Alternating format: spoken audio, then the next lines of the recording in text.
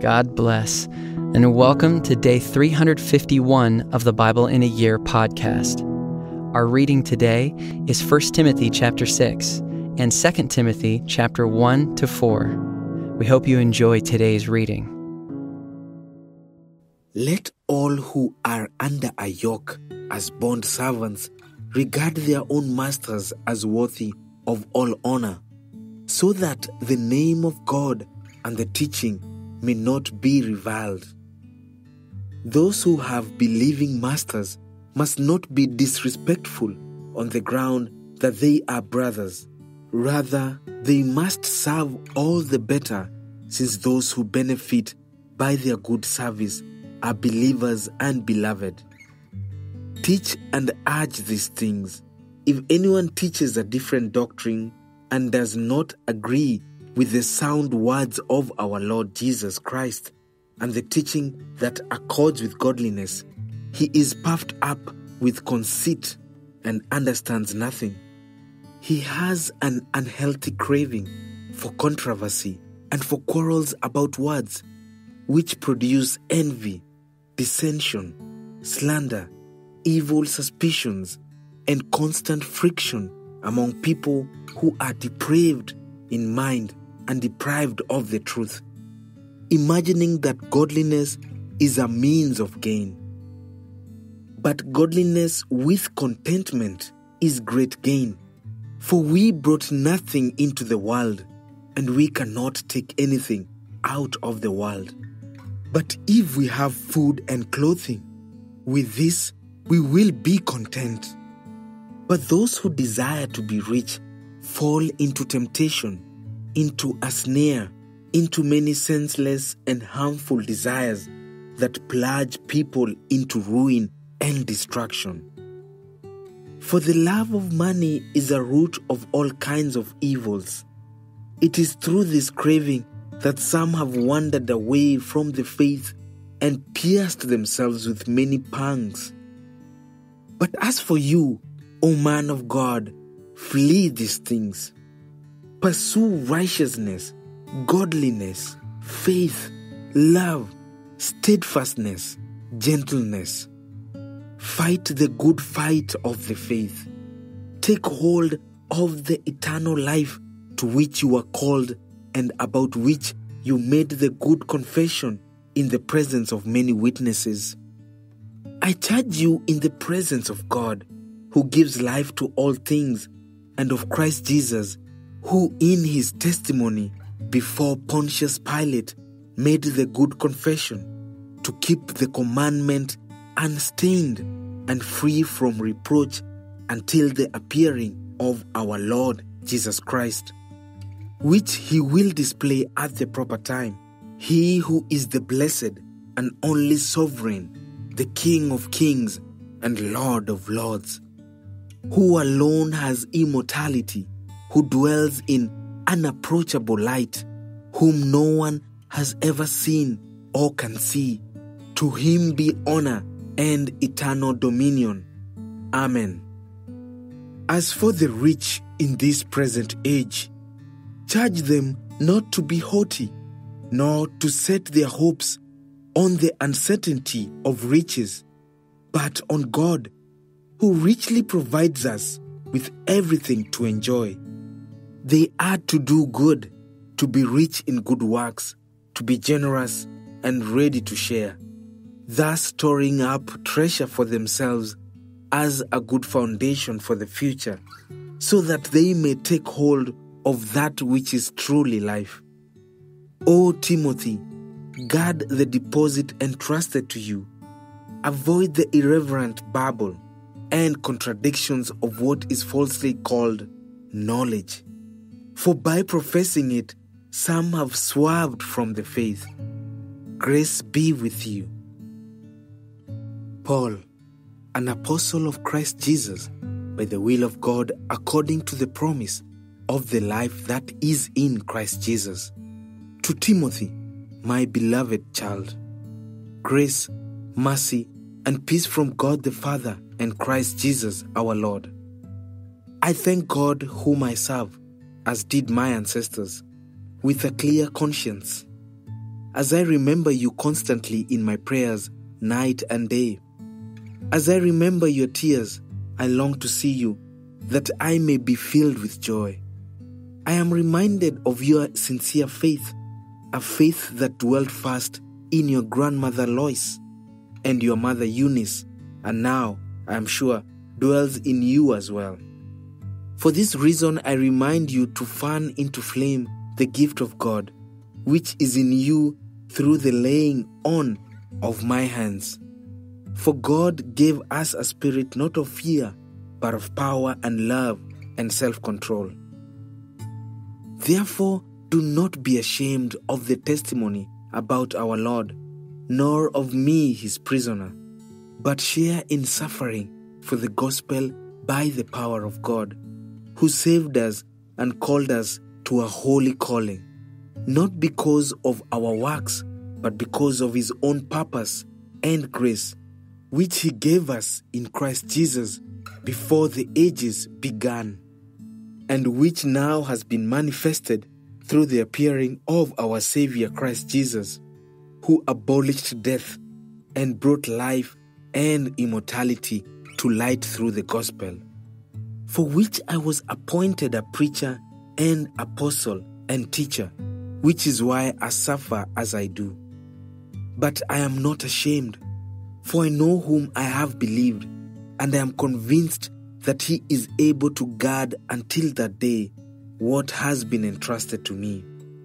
Follow the pattern of the sound words that you have heard from me in the faith and love that are in Christ Jesus, by the Holy Spirit who dwells within us.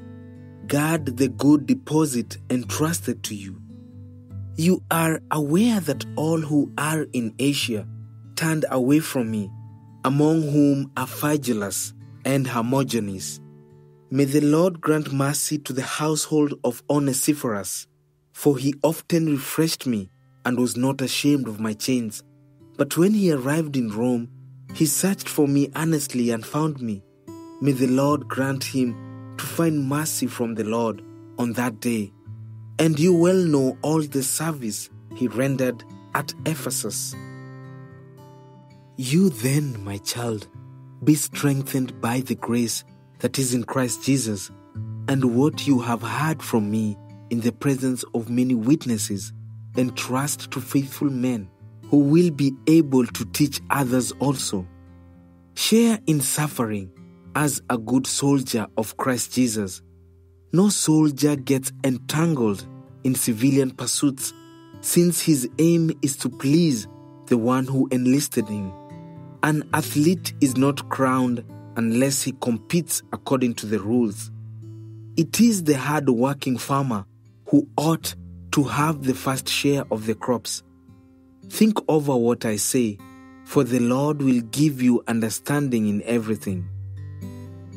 Remember Jesus Christ, risen from the dead, the offspring of David, as preached in my gospel, for which I am suffering, bound with chains as a criminal. But the word of God is not bound.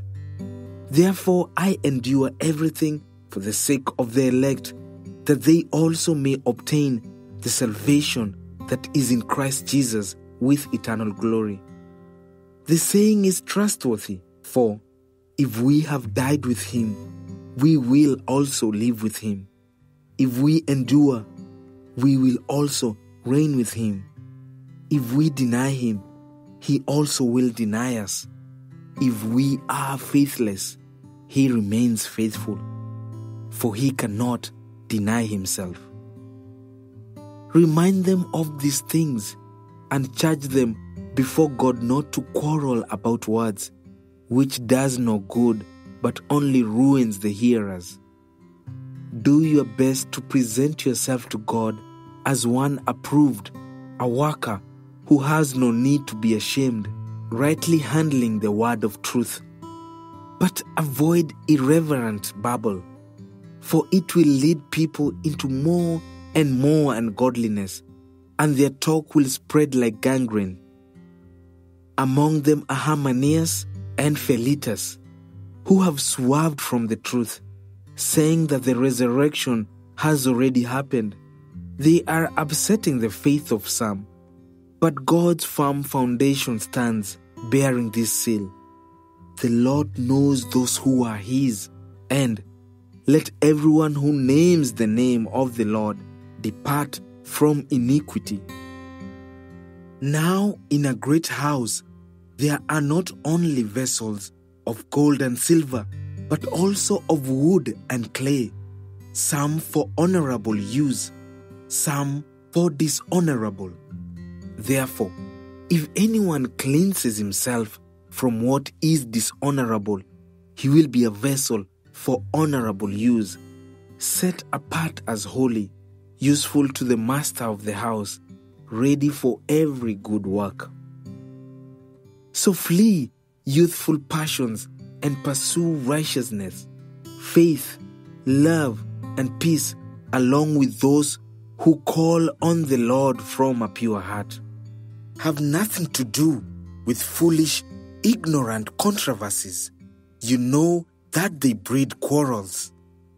And the Lord's servant must not be quarrelsome, but kind to everyone, able to teach, patiently enduring evil, correcting his opponents with gentleness.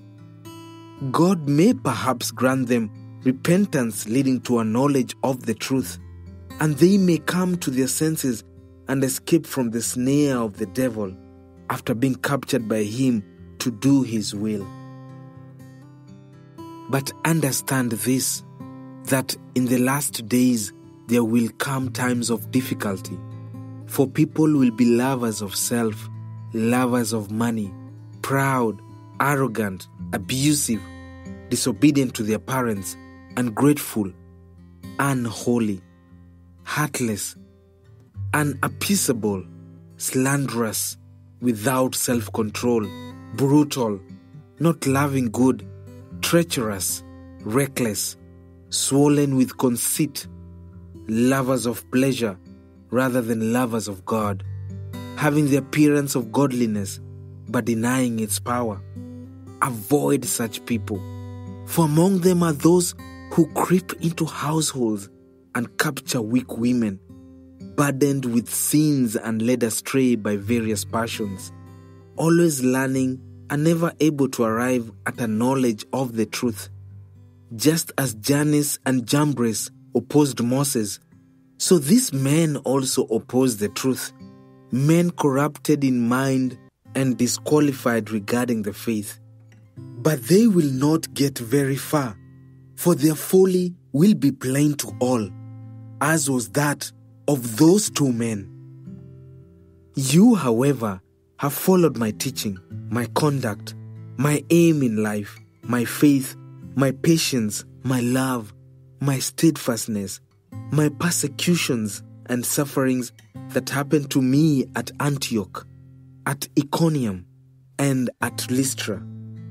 Which persecutions I endured, yet from them all the Lord rescued me. Indeed, all who desire to live a godly life in Christ Jesus will be persecuted, while evil people and impostors will go on from bad to worse, deceiving and being deceived. But as for you, continue in what you have learned and have firmly believed, knowing from whom you learned it, and how from childhood you have been acquainted with the sacred writings, which are able to make you wise for salvation through faith in Christ Jesus. All scripture is breathed out by God and profitable for teaching, for reproof, for correction, and for training in righteousness, that the man of God may be complete, equipped for every good work.